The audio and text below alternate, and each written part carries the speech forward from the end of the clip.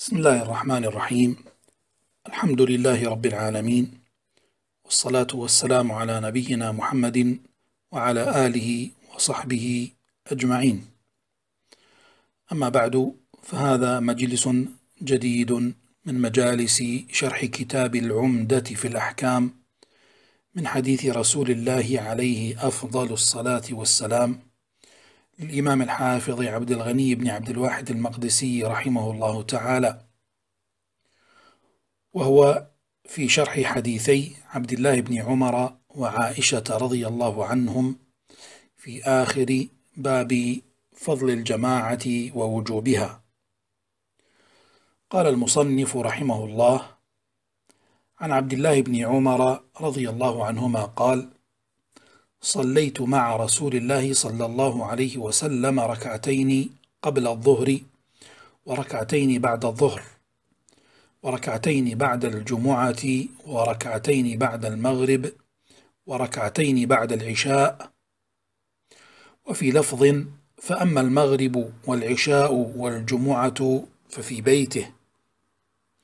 وفي لفظ أن ابن عمر قال حدثتني حفصة أن النبي صلى الله عليه وسلم كان يصلي سجدتين خفيفتين بعدما يطلع الفجر وكانت ساعة لا أدخل على النبي صلى الله عليه وسلم فيها.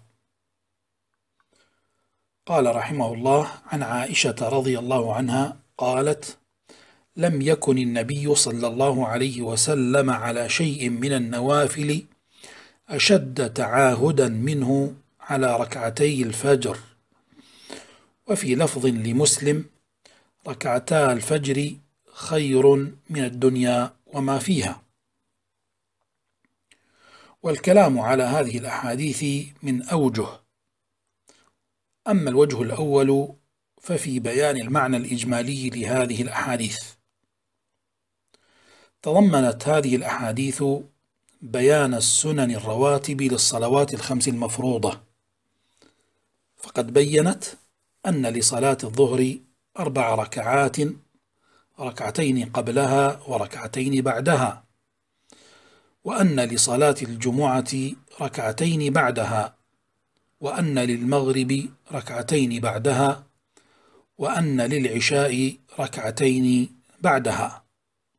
وأن راتبتي المغرب والعشاء وراتبة الفجر وراتبة الجمعة. كان رسول الله صلى الله عليه وسلم يصليها في بيته.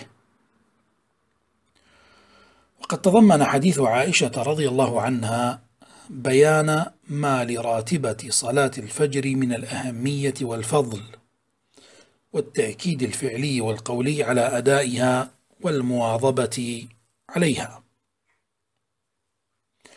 الوجه الثاني في ذكر مواطن إخراج الشيخين للحديث في صحيحيهما.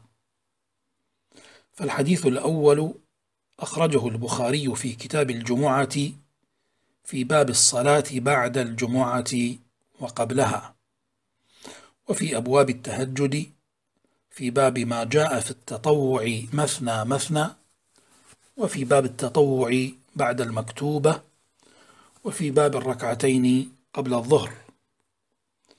وأخرجه مسلم في كتاب صلاة المسافرين وفي كتاب الجمعة. وقول عبد الله بن عمر رضي الله عنهما حدثتني حفصة الحديث فهو مما تفرد به البخاري دون مسلم.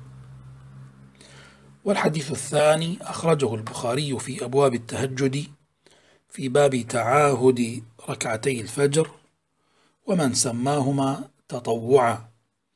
وأخرجه مسلم في كتاب صلاة المسافرين. الوجه الثالث في الكلام على ما في الحديث من مباحث اللغة.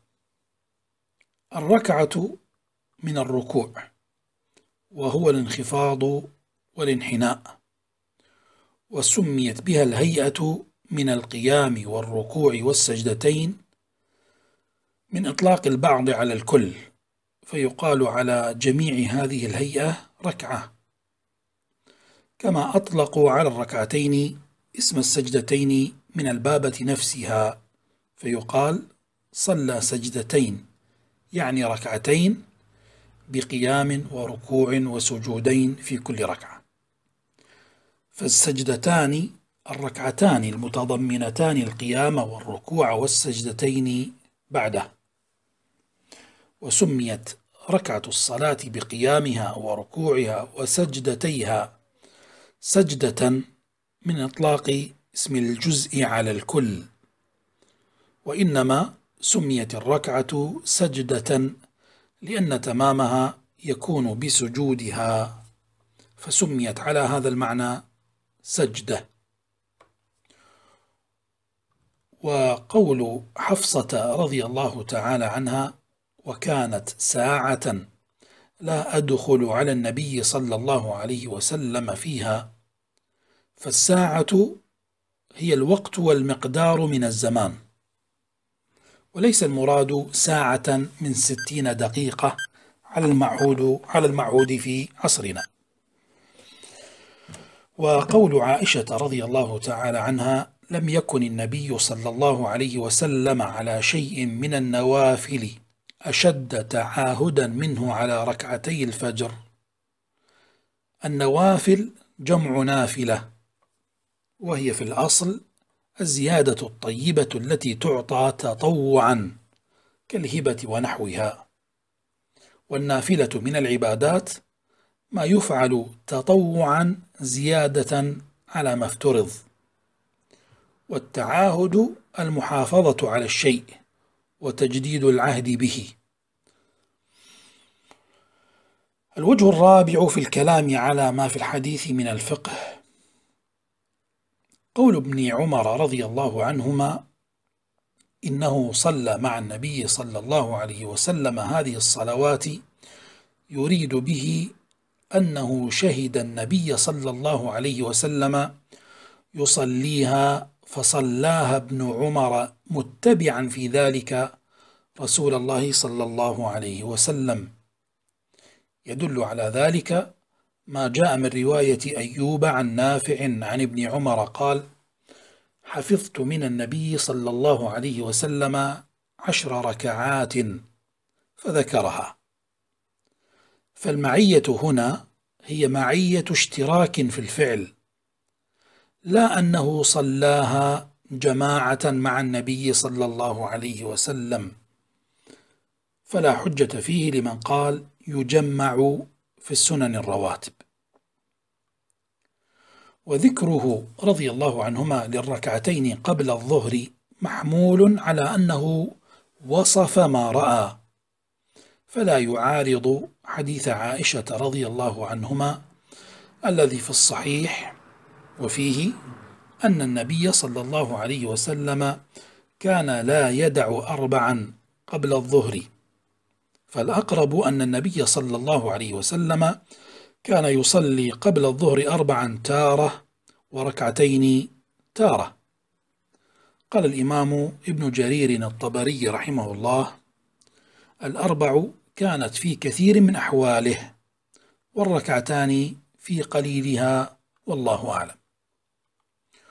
وقوله رضي الله عنهما وركعتين بعد الظهر وركعتين بعد الجمعة. أعاد ذكر الركعتين بعد الجمعة لما في الجمعة من أحكام تفارق فيها صلاة الظهر. فإن لصلاة الظهر راتبتين قبلها وبعدها. بخلاف الجمعة فإنها على الراجح ليست فيها راتبة قبلها.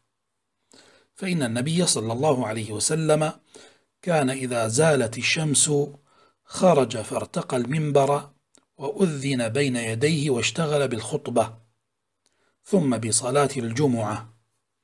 أما قبل دخول وقت الجمعة فإن الصحابة كانوا يشتغلون بالنوافل المطلقة المرسلة وهي ليست من السنن الرواتب كما هو معلوم والله أعلم.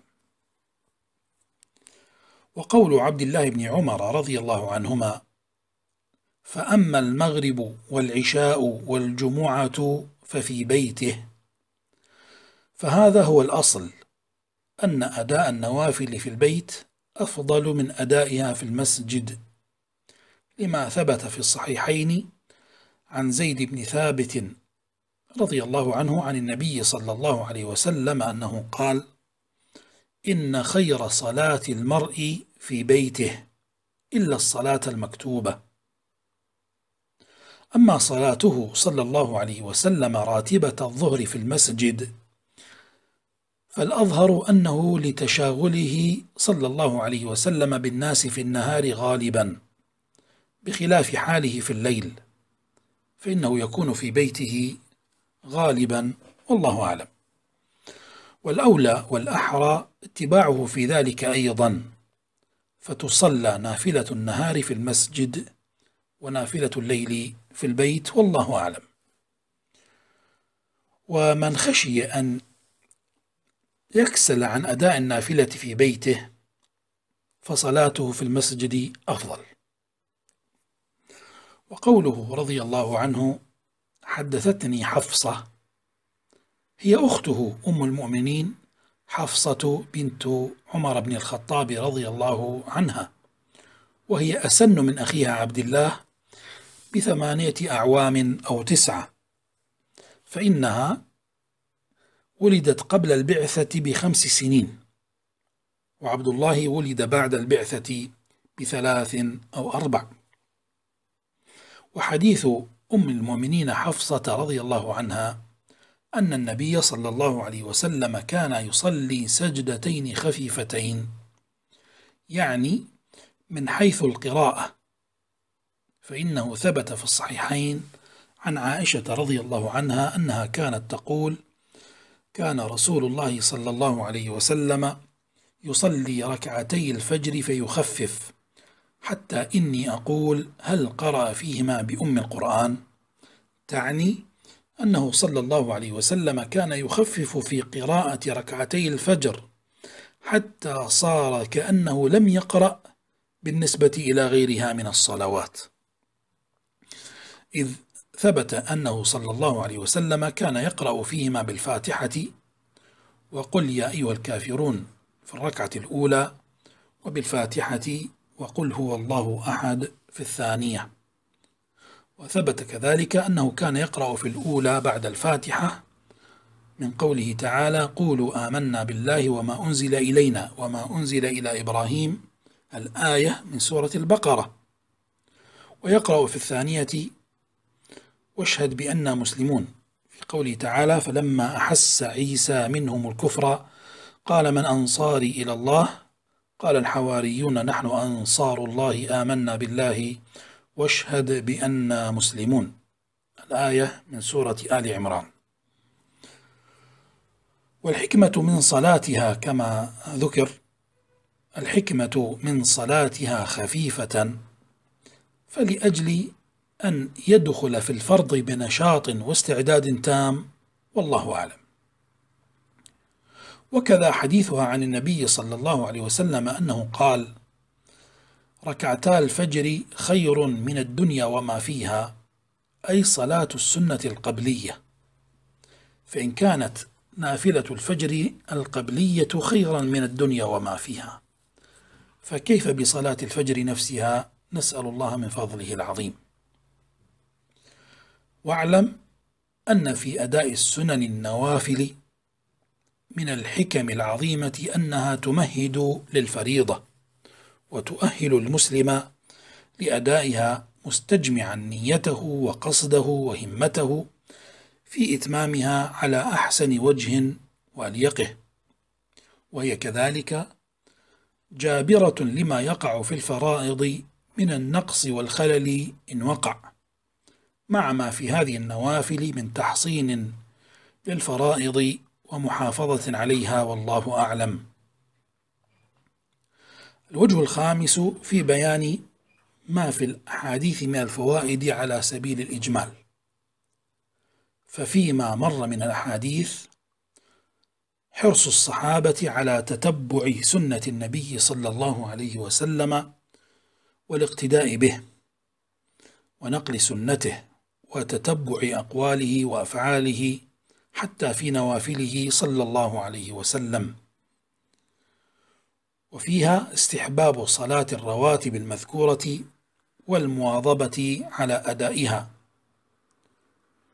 وفي حديث ابن عمر أن العصر ليس لها سنة راتبة مؤكدة قبلها ولا بعدها. وفيه استحباب صلاة الرواتب المؤكدة للمغرب والعشاء والفجر في البيت. وفي الحديث استحباب ركعتي الفجر المؤكدة وعدم التهاون بتركها. وفيه أيضا فضل ركعتي الفجر وأنها خير من الدنيا وما فيها. وفيه الحث على طلب العلم من أهله سواء كانوا رجالا أم نساء.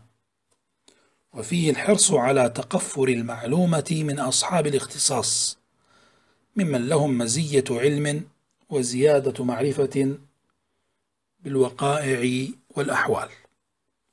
وفيه أيضا حجية خبر الواحد الثقة سواء كان رجلا أم امرأة.